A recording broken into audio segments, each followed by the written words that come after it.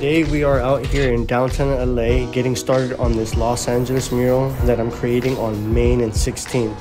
But before we get started, we're going to head over and pay a visit to the Montana LA store to grab some paint.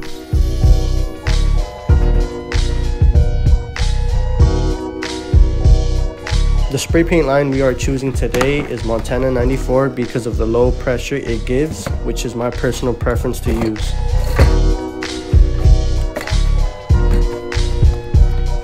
The colors consist of maroon, fire red, yellow, light gray, medium gray, with white and black for higher contrast.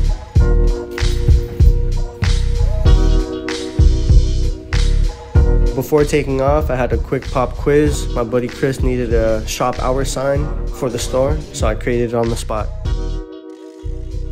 You see his bar, like on his A, it's like short, chubby letters. Oh no, it's, it's tight. Thank you. Good to see you. Always good to see you. Oh, here, you want some stickers? I definitely do. Yeah, take as many. Oh, they're like Montana shop stickers? Yeah, for the holidays. So We maybe only have a few, few days to Oh, give eight them making away. them? Eight, eight made them? Yeah. Of course, these are gonna fucking hard. They're never gonna come out again. You know? That's why I collect them all the time. Damn, sick, bro. This food eight. I also want to shout out Montana LA for the constant love and support. Thank you to the team for looking out for me. It is always much appreciated.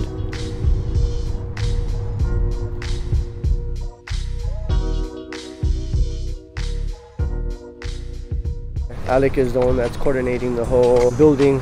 Um, I guess someone bought the property, knows Alec, and he's been coordinating every like roll gate.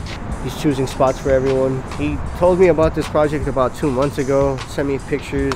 My first time seeing the wall was barely the day before yesterday. So I saw it, uh, I came on the lift and I had to check if the lift even reaches. And also we have this, this metal pillar right here.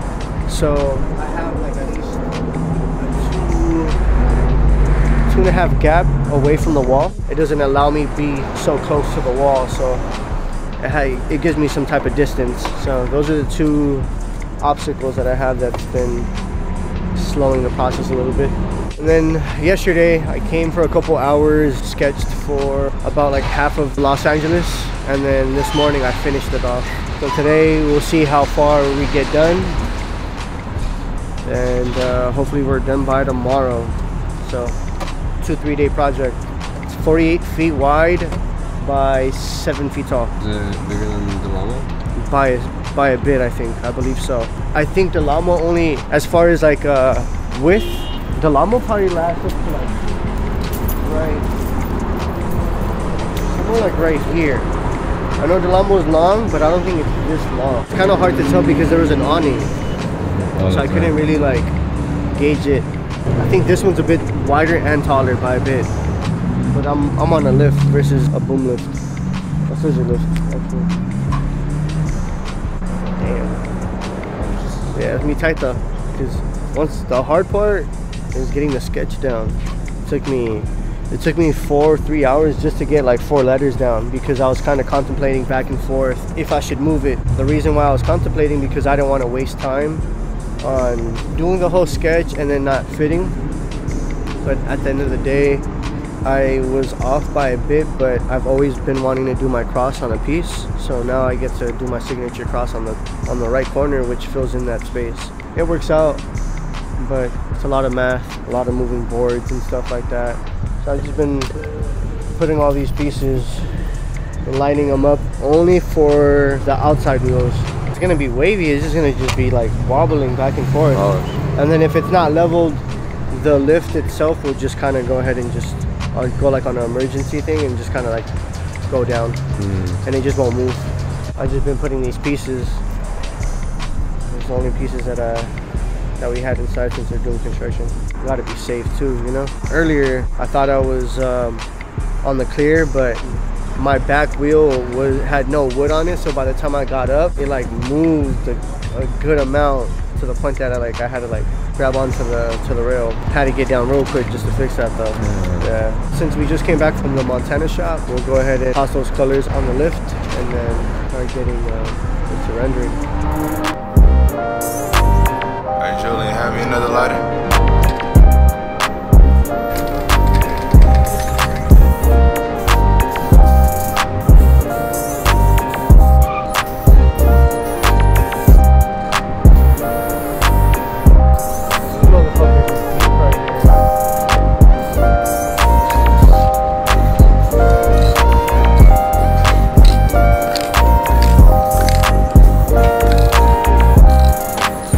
Of little flies today. I think they, they like the smell of the paint. They stick next to the, they get, look, they're all next to the cap.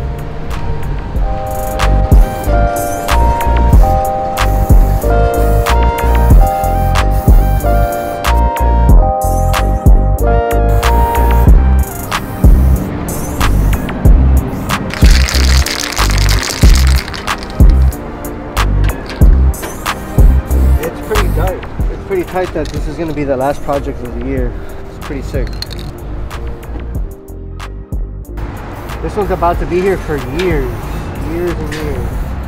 And it's my first time doing my cross, so pretty excited on that. Finally got to paint it.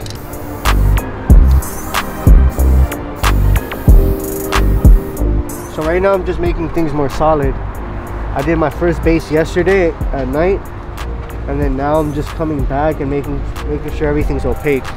Opaque solid because I am not gonna have the chance to come up here and fix it ever. So if it feels like level to the floor and I'm able to fix it then I would but I doubt I'd have a chance later on in the future. So you really got to make sure that everything's opaque and solid and up to your liking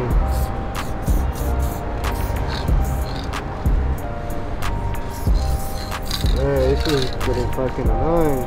Yeah. God, bro.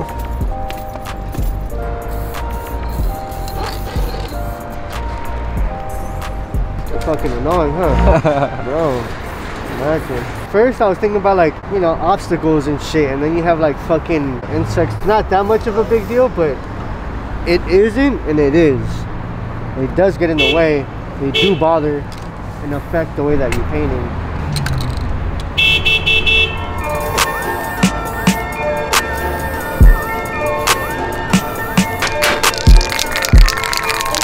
Probably just because yesterday was probably colder and it's getting warmer today or something. Fucking fuck these flies. I just don't want to spray my fucking my piece. See?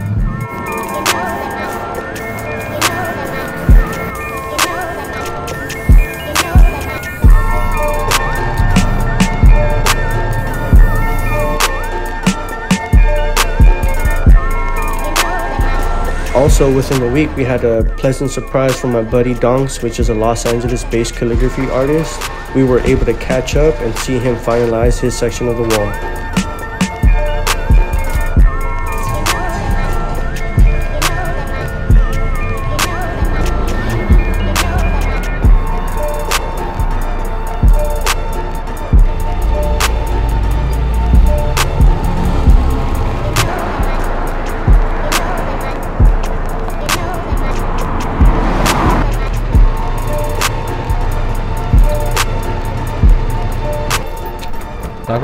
Around the corner, yeah.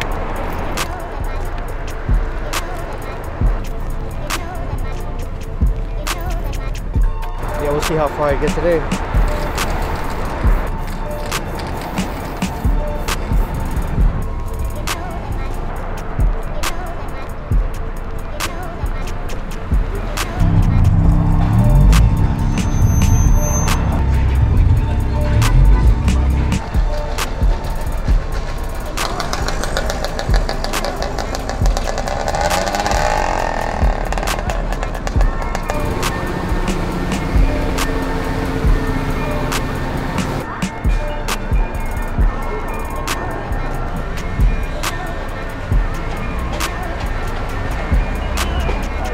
Baby. Damn.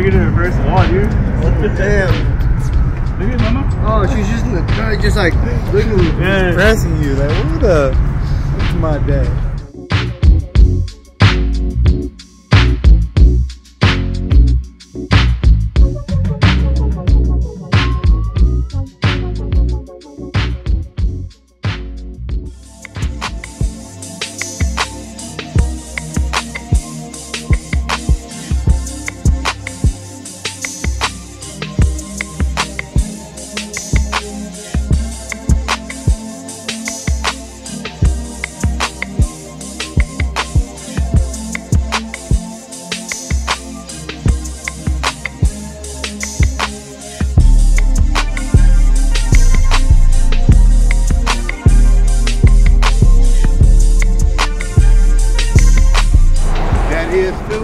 Huh? The top one. That one's his. Okay. Well, you got mad skills, man.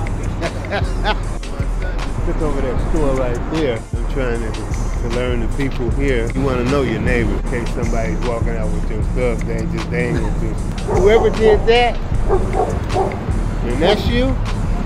Anybody can fade you, bro. Oh. No, I'm talking about anybody can fade you. I appreciate it. Thank you. That, that's awesome work. Thank you, Chief. Yeah. What's your name? Alfonso. Mike. Mike. If you ever this you. way, check my son's store out. What's his name? Oh, Tony. Tony. The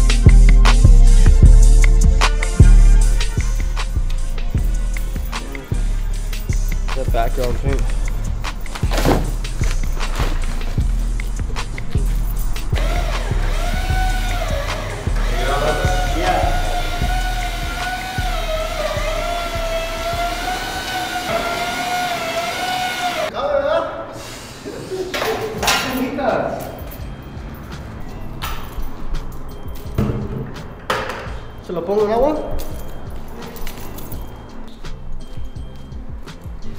No water. It's a wrap. At. ¿Salió bien? ¿Qué tal? Este lugar ya se convirtió famoso. Mira cómo estaba. No, ahorita este es el punto de todo. ¿Del downtown? Pero en la noche así se mira. Damn. Bien clarito. Oh, damn, that shit looks hard, bro. Damn. Oh, mira este. Sí, así se Damn. mira. Muchas gracias por todo. Hasta luego. Gracias a ustedes. Hell yeah. All right, people. We just got done with the Los Angeles right behind me. It is on Main and 16th right here in downtown LA. Me and Osri just came through just to add the signature that's on the left corner. And then I threw my at, uh, which is Alfonso Garcia lettering right down the center of the piece. With those two things, we're finalizing the project today. I think about last week, they did a clear coat on the whole wall so it has like a nice finish and then I believe they just added two light on the top so it can have some shine at night after looking at it, it looks good how this project came about was uh, Alec, Mr. Alec on Instagram had coordinated this whole project, this wall, and he asked several artists to come paint certain sections, and my section here is the top of the wall. I freehanded the whole project. We had a boom lift to get up to the surface, and uh, we had to move wooden tablets on the floor for the boom lift to be stable and leveled for it to go up. So that was one obstacle for the project. And then also we had some metal beams for the awning that go across. So when I'm raising up, sometimes I have to shift to the left or to the right to avoid that metal beam. And then I had a, a gap about like two and a half feet of these metal beams. Also, I had to be somewhat distant from my subject. So those were about two to three obstacles that I had to deal with.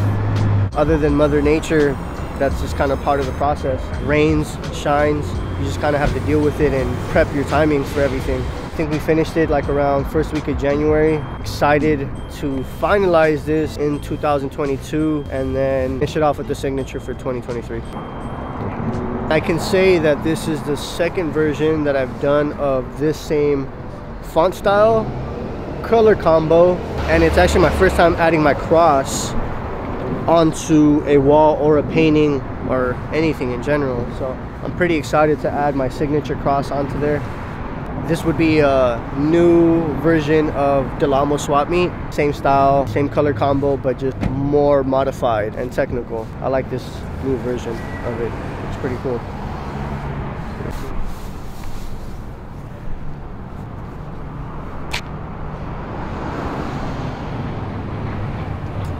That shit looks hard, bro. Yeah. That shit looks hard. I can definitely say this is probably one of my best pieces I've done.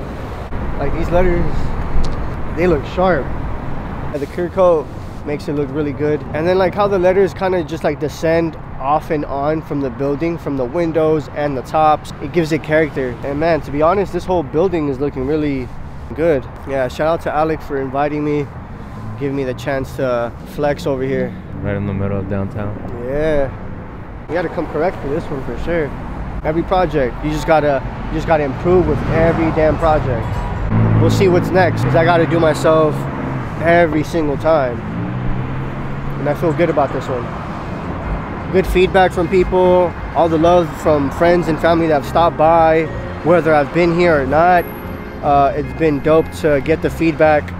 And even before I added my signature, people would hit the gas station, see the piece, and know that it was me because of my cross and my style. So I'm hyped to be able to paint this